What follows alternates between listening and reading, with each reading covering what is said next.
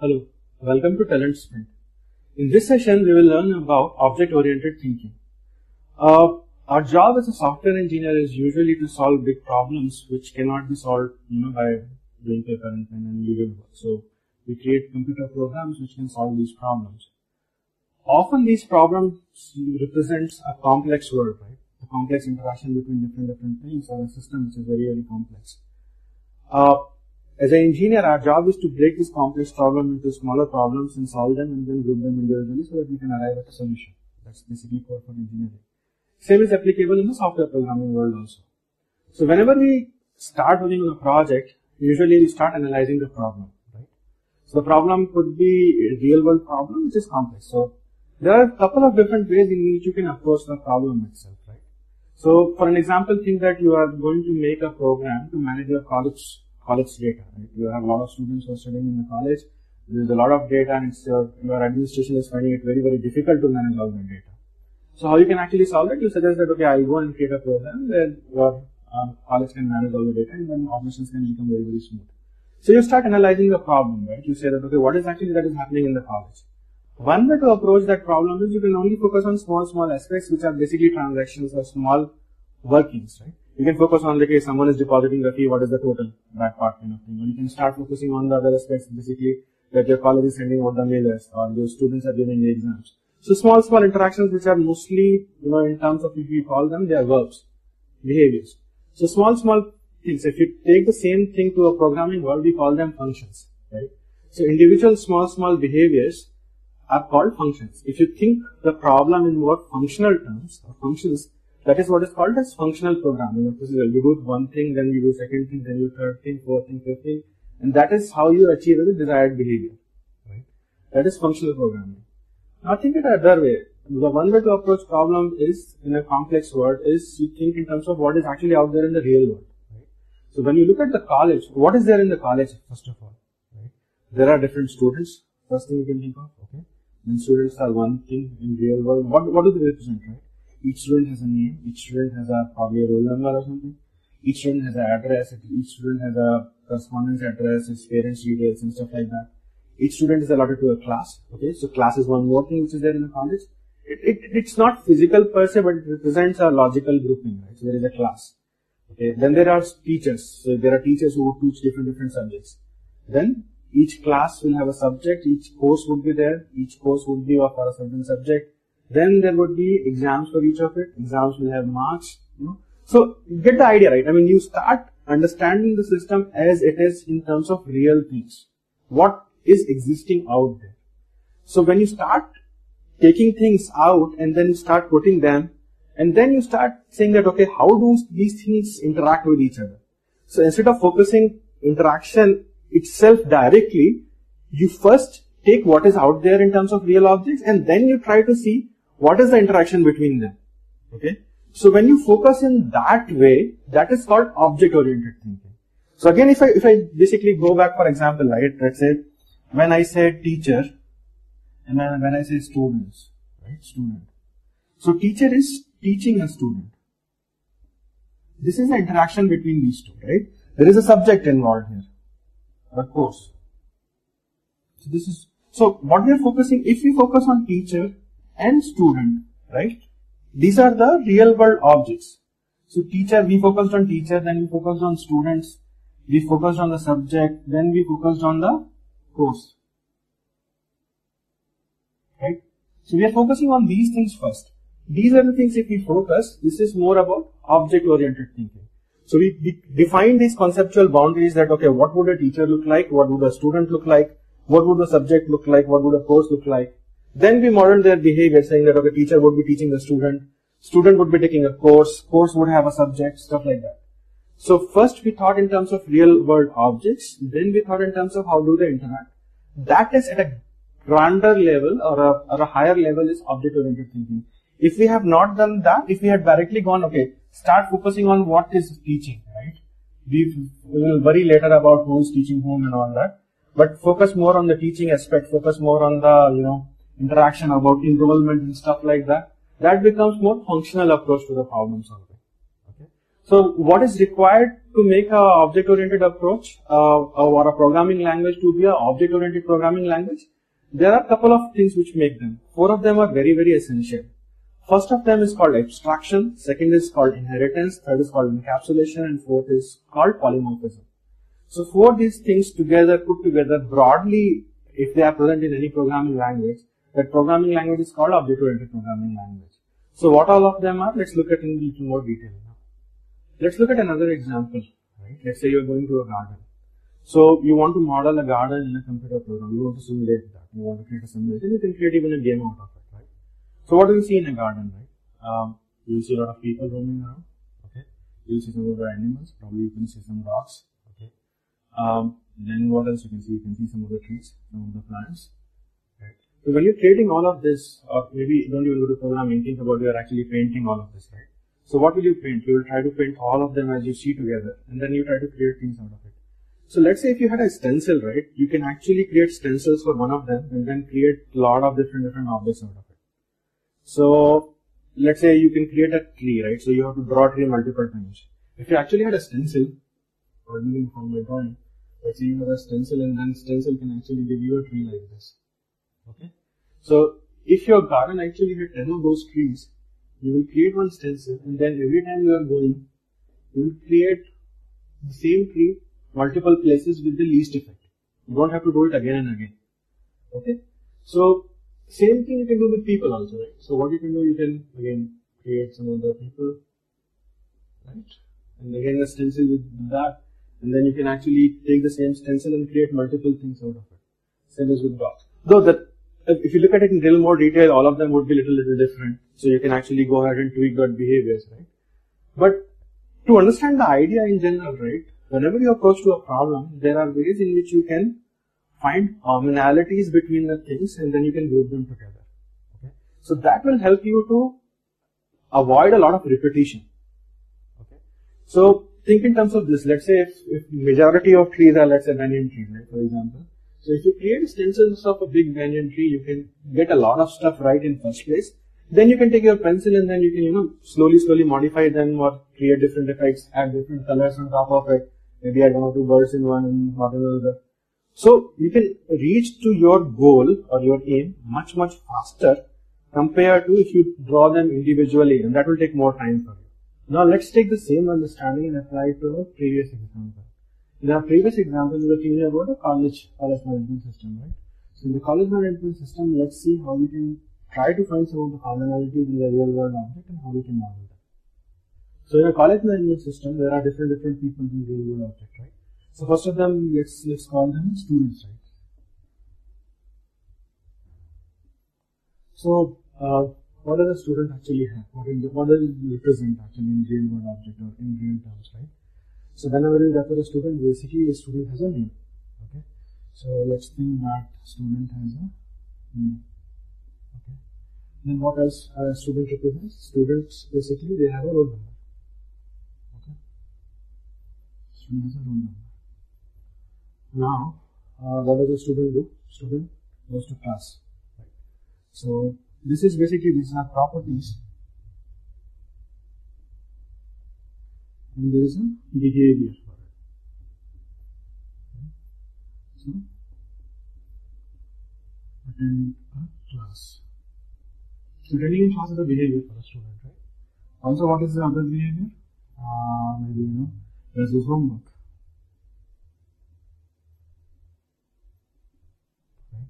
So what we did, we, we took a definition or we took a commonality between all the students.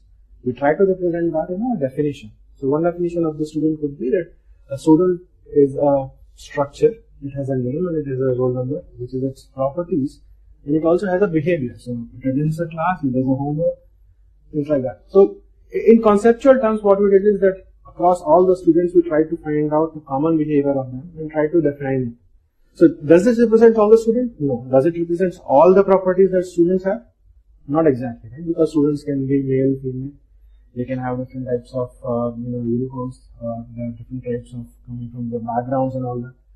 So for the process of programming or purpose of our program, we ignored the differences between them, but for the time being, we focused on their commonalities, right? So this process itself is called abstraction. Once again, in modeling of real world problems, when we try to find commonalities between the objects or commonality between the real world things, and focus on the commonality for the time being while ignoring their differences. That is what is abstraction. Okay. So let's say if we think about tree, right? Tree could be of different types. Uh, but if we represent that in a, in a logical structure somewhere, right? So tree has a stem, it has uh, leaves? So these are the common things which would be common for all the trees. But each has a different types of leaves, each has a different types of stem, each has a different height. They are found in different different types of areas. But when we are representing them here, we are just focusing on what is common across all the trees. Right? And we put that in one structure together and we say that for a programming purpose, we have abstracted out the definition of a tree in one place. So when we call this concept in the programming language, this is called as abstraction. For any modeling in real world object of a real world object in a programming language, abstraction is a key. So this is the first requirement for any object-oriented programming language. Any programming language, if it is an object-oriented programming language, it has to support abstraction. Basically, we should be able to represent the real world things in terms of definitions or abstract grouping of things together. Now let's look at the second thing, which is called as encapsulation. Encapsulation in generic terms refers to when we put the behavior and the data together in one unit and we encapsulate this behavior as a one unit. We put that in one, one basically basket. So think of a tree for example, right? So we were trying to model a tree, we were trying to put what are the different types of uh, things which are represented by a tree, let's stems, leaves and stuff like that. When we say that tree grows, so it's the behavior of the tree, right? It grows. When the wind blows, the tree actually shakes. So that is a basically behavior for a tree. For anyone outside of the tree object doesn't need to know the details of it inside. Okay? Or in other words, let's take a different example. In our college management system, we're talking about students, right?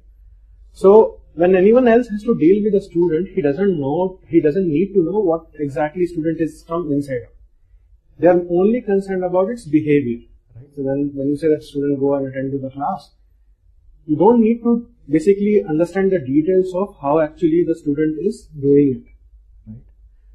Take another example for that matter. Uh, in your home, when you have a wiring of electricity and you have a bulb which is out there, when you turn on the switch, the light starts, you know, glowing. You do not need to know actually what is the schematics of the wiring inside of your house in order to see or understand how the bulb actually operates. For your understanding, as soon as you switch the bulb on, you switch the, you push the button, the bulb start to glow. So the details of the internals of the wiring are hidden from you. Similarly, in the programming world, when we abstract the definitions out, we put their behavior also along with their definitions in one place. And then when we ask them to behave in a certain way, they behave in a certain way. But the people who are asking for that behavior, they do not, they do not need to know the exact details of that behavior. In a wiring, the person who's switching on the light does not need to know the structure of the wiring inside the house in order to turn the bulb. Similarly, in the programming world, any object or any abstracted definition out does not need to know how exactly to operate on the other. Okay? So, think about this in a different example also. Think about, let's say, a car manufacturing plant. So in the car manufacturing plant, there are different, different uh, machines which work on a car. Assuming it's an assembly line, there would be starting from one place which will fit the engine in the car, other place that would put the frame, other one would be fitting the door and stuff like that, right? So these things are happening sequentially, one after the other after the other. The process which is calling, which says the fit the engine, they must be pushing only one of the button or the commands, but they are not concerned about how exactly the hydraulics will be going up or coming down, how exactly the screws will be tightening up. Those are taken care by the internal robotics assembly. But from an operation perspective, you do not need to know how exactly the things are happening. Okay. Similarly, when you are driving your car, all you do is push your key and push the ignition. As soon as you push the ignition, the engine starts to run. But you do not know the internal details of the engine. For you, when you sit in the car, steering and gearbox and the key, that is all you have got. As soon as you turn on the engine, your car starts, you push in the gear, starts to move, right? From your perspective, the mechanics of the car is encapsulated in the car unit. Okay? So that is what is encapsulation. You take the behavior, you take the data, you take everything which is required for a specific logical unit or abstracted out unit, you put that in one place and then you just operate on top of it. Okay, so that is where you, you only expose the interfaces through which the real world object talks to other object, but the details of it are hidden inside it. That is what is called encapsulation. We'll understand about it detail in the upcoming lectures. Now let's look at the third one, which is polymorphism. Polymorphism basically is made of two terms, poly and morphic. Right? Poly means multiple, morphic means behavior.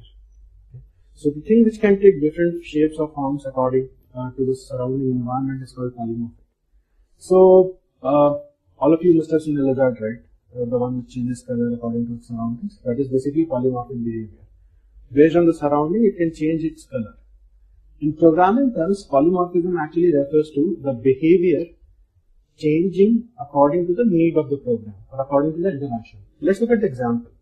So when we're talking about our college management system, a student goes and greets different people in a different, different manner. Right? So if let's say a student is greeting one of his friends, he can say hi or hello. But if he is greeting his teachers, he would say good morning or good evening, sir. That kind of a you know different type of greeting would be there. If he's greeting his parents, it would be different. His friends, it would be different. Siblings, it might be a bit more different. So the process is still the same. You are greeting another person, but what you greet changes based on whom you are greeting. Okay. So based on the environment surrounding input parameters, context, or the places, behavior is allowed to change. Okay. So in programming language terms, we call it polymorphic behavior. So it could be as simple as that if there is a method if you pass in one type of parameter, it behaves differently. If you pass it another type of parameter, it behaves differently. So that is basically what is called as polymorphic behavior. There's a lot of use in, in programming. Because we are modeling real world objects, we model their behavior also. The behavior needs to change according to the surrounding environment or the place from where you are calling it. So the polymorphism actually helps us to model real world object more realistically. Okay. Now let's look at the third and fourth one, which is the most important one, which is called inheritance. Inheritance in simple terms means acquiring a lot of uh, data or values or, or whatever you want to call it, right? So in real world, when we say we inherited something, without any effort, we get a lot of things with us. Okay? So in programming terms, when we want to reuse a lot of behavior, we say there is an inheritance. Okay? So for example, let's say when we have a seed, we and we plant it, the seed automatically grows to become a tree. You don't need to instruct the seed saying that, you know, this is the type of tree you have to become when you grow. You don't have to tell him this is the kind of leaves you have to have. All when we know that when we plant the seed, we know that this is the type of the tree from where we have taken the seed and this is where it will grow. So what we say is all the properties of the seed has been inherited from its parent, from where it has actually come. Similarly, in the programming terms, when we abstract the definitions out, we can inherit those definitions in different objects.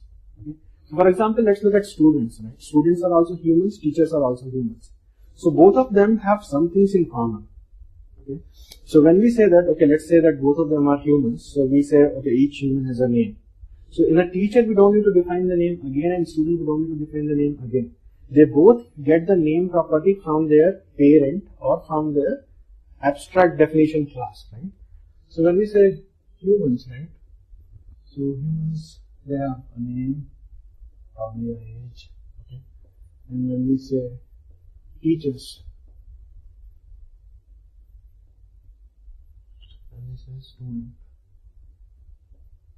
So they both have name and age, right? So we don't need to duplicate this thing in both the places.